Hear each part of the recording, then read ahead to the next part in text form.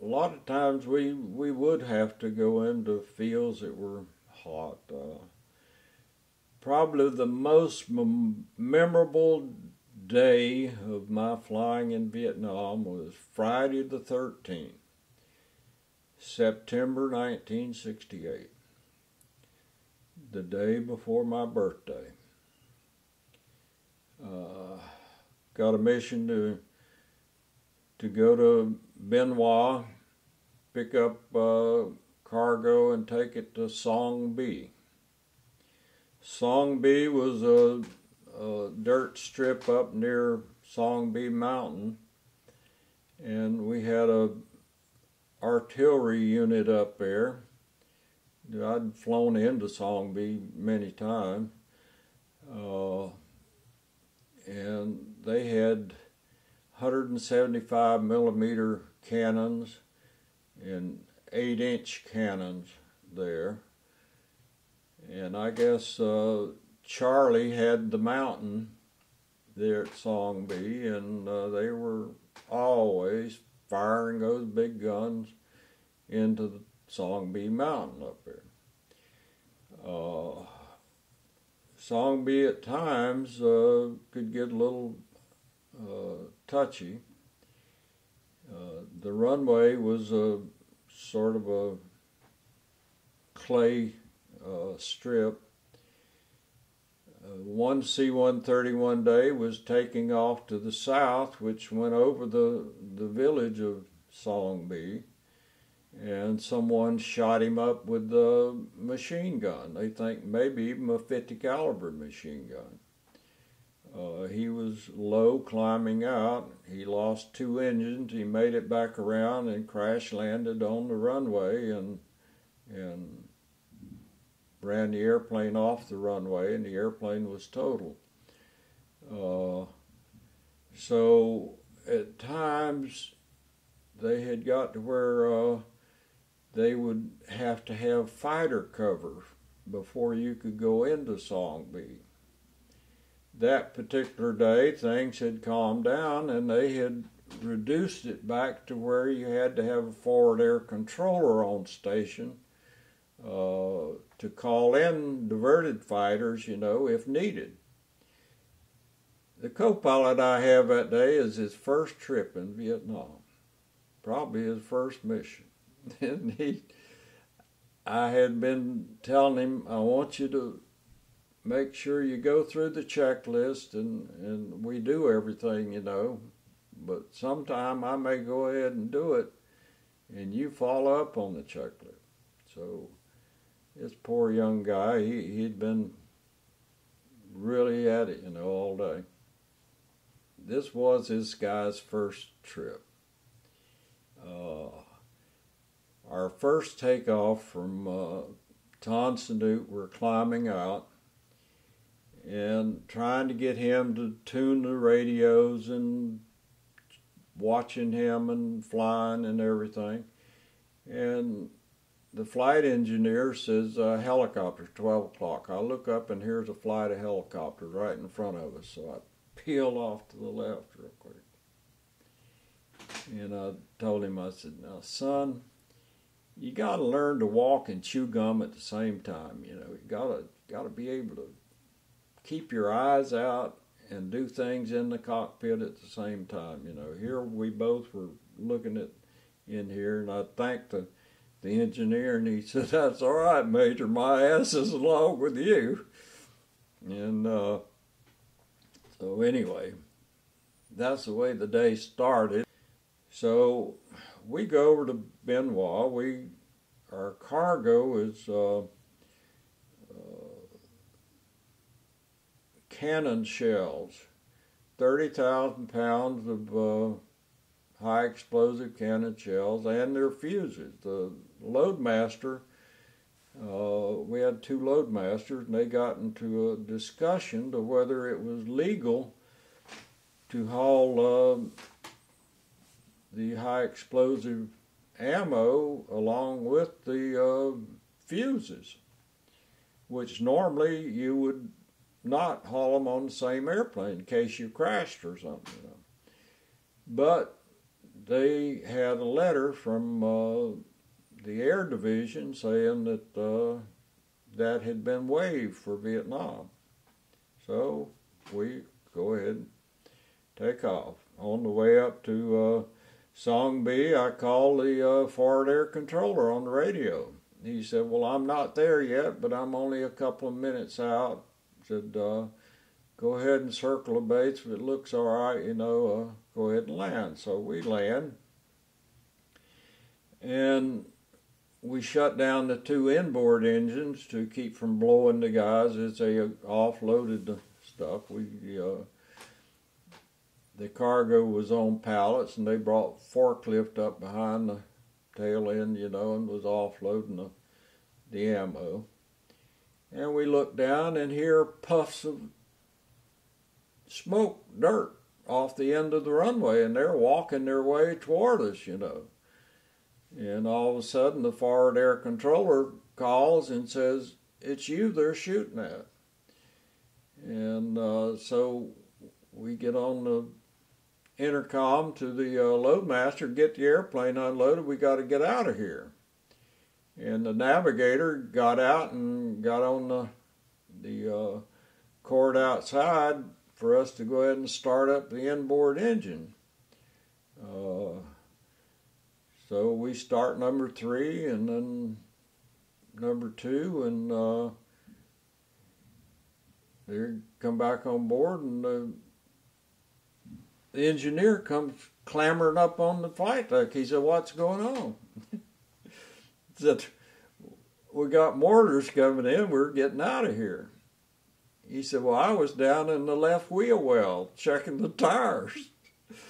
and said the engine start to start, and I've got to I've got the the uh, fairing up on the wheel, and I have to reach through and to get the pin back in, you know, to hook it back up. And you're starting the engine, and I ran through that prop. it was turning. I don't know how the prop missed it, but. Uh, we crank up and uh, taxi out to the opposite end of the field and take off and get on out of there. So we're headed back down to to Hoa for our next load wherever we were to go. We get called and we're diverted to uh,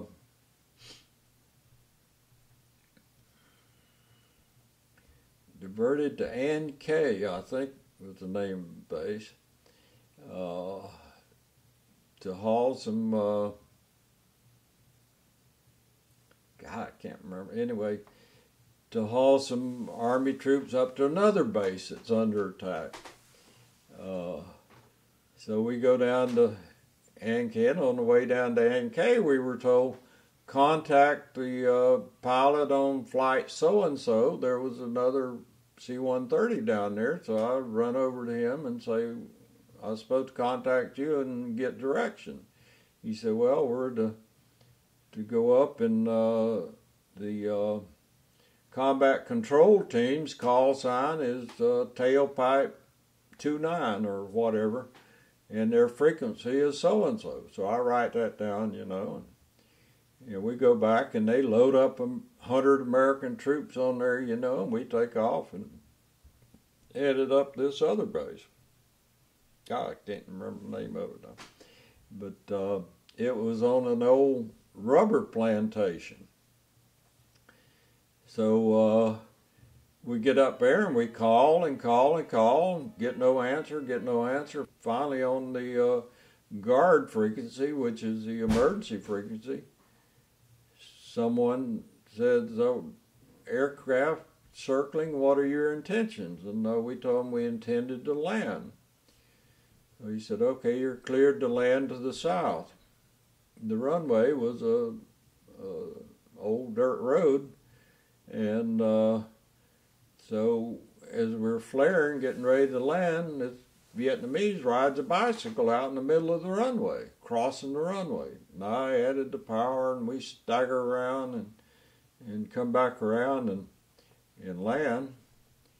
And uh, we offload and and I called the guy on the emergency frequency. I don't know who he was, some army guy, and he cleared us to take off. Alongside the runway were 105 howitzers, and their their barrels are smoking.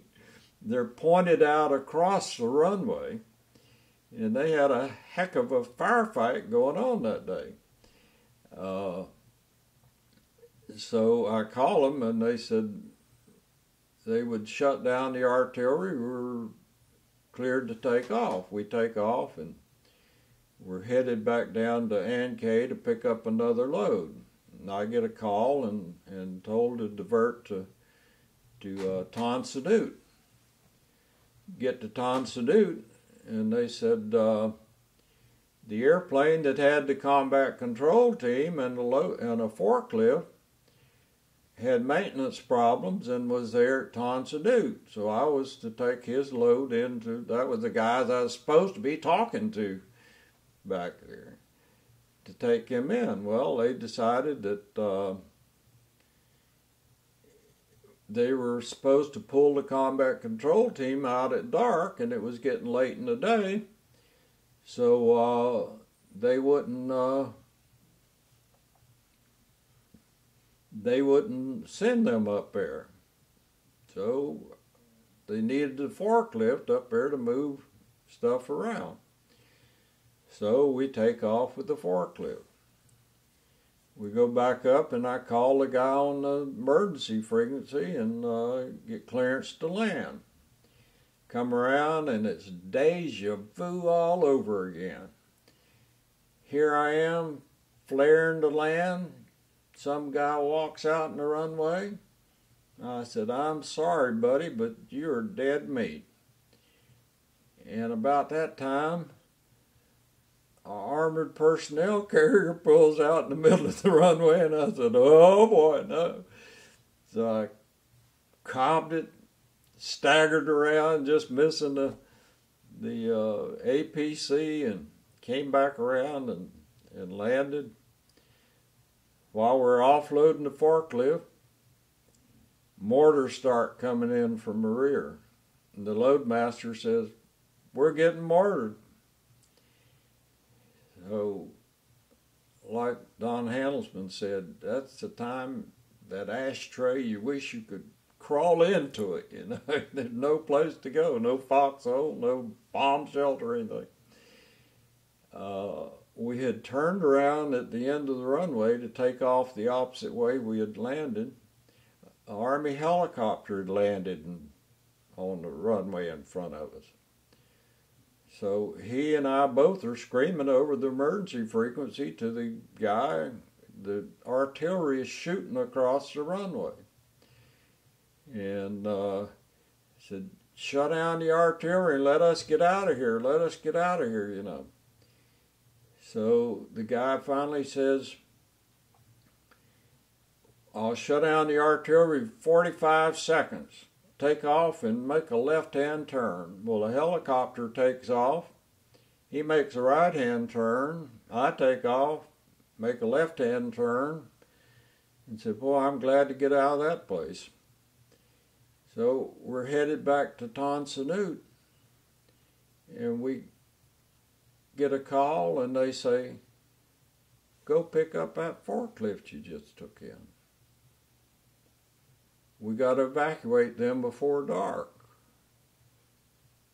And I said, man, what a day. Okay. So I go back.